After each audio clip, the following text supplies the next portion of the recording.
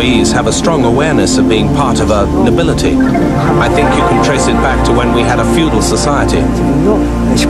The samurai society, where everyone served according to his position in the feudal hierarchy. Because Japan has been such an isolated country and had little contact with the outside world, the Japanese have evolved their own traditions and developed according to them. That's what I think.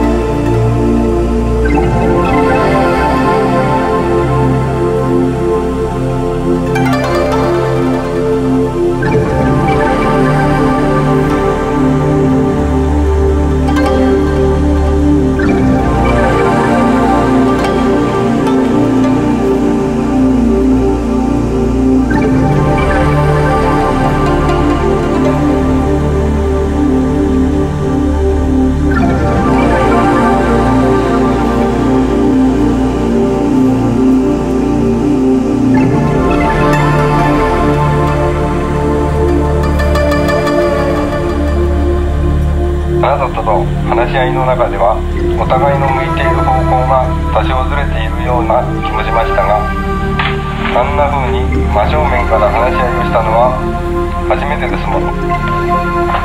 2人とも照れていましたからね。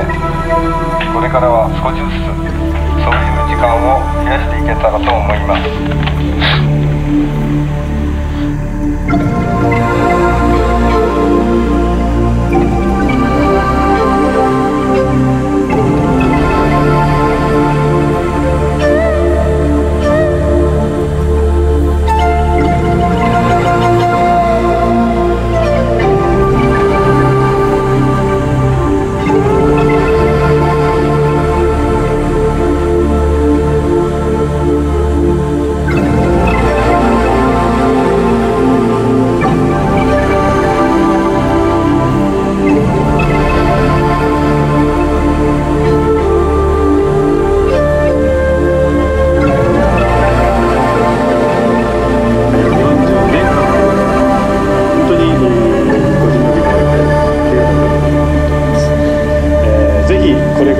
退職された切には健康に気をつけていただき、えまた張り合いを持ってですね自分の人生を楽しんでいただきたいなというふうに思います。本当に長い間どうもありがとうございました。